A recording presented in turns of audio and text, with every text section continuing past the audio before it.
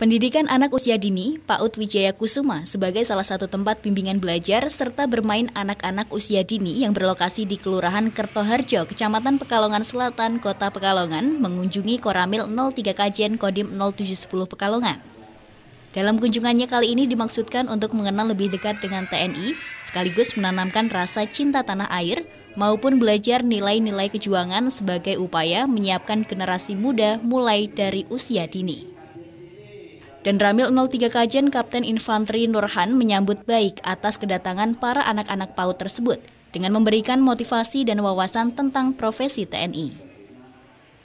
Selain memberikan pembekalan oleh Dan Ramil, anak-anak juga diperkenalkan pada sarana dan prasarana yang ada di Makoramil. Kemudian melaksanakan outbound serta pengenalan kepada hewan bebek yang kebetulan dipelihara oleh anggota Koramil. PAUD Wijaya Kusuma, Kelurahan Kertoharjo, Kota Pekalongan melaksanakan kunjungan dalam rangka pengenalan instansi TNI kepada anak-anak didik yaitu PAUD atau pendidikan anak usia dini. Eh, kami menyampaikan yang terkait dengan TNI kami sampaikan kepada anak-anak mereka ini profesi kami TNI agar anak-anak sejak dini yang nantinya mereka akan cinta kepada kepada TNI khususnya. Uh, yang dikenalkan di Tansi Kuramil Kajen ini contohnya seperti apa saja? Untuk pengenalan yang kami berikan kepada anak-anak yang pertama yaitu tentang uh, seragam, seragam TNI, oranye, ada yang warna hijau dan lain sebagainya ini yang pertama. Kemudian yang kedua tentang tugas, tugas secara garis besar karena ini masih anak-anak sehingga mereka tahu bahwa tentara atau TNI ini memiliki tugas peran di warga masyarakat juga itu dalam keamanan, ketertiban, juga pertahanan uh, di wilayah sehingga mereka anak-anak ini tahu oh tugasnya Pak TNI, Pak Tentara seperti ini. Sementara itu, Kepala Sekolah PAUD Wijaya Kusuma Siti Haniti mengungkapkan adanya kunjungan ke Koramil 03 Kajen tersebut merupakan sarana pembelajaran kepada anak-anak didiknya agar lebih mengetahui dan dekat dengan TNI selaku aparat penjaga NKRI.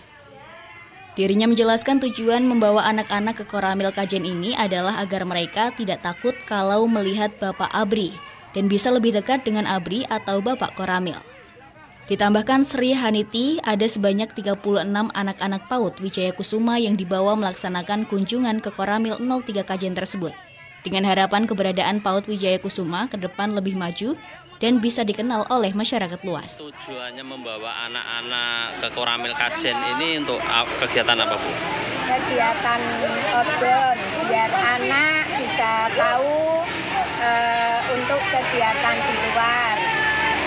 Biar anak itu lebih mengerti dan tidak takut sama Bapak Abri ketika bertemu di jalan maupun bertemu di mana ketika menjumpai Bapak Abri atau dari Koramil. Intinya pengenalan kepada pengenalan ya. kepada Bapak Abri atau Bapak Koramil. Ada berapa siswa yang dibawa ke sini, Bu? Ada 36. 36. Harapannya dengan belajar di sini seperti apa, Bu? Uh, biar PAUD Wijaya Kusuma lebih maju, lebih meningkat, lebih banyak dikenal dari masyarakat. Saif Robani, Batik TV, melaporkan.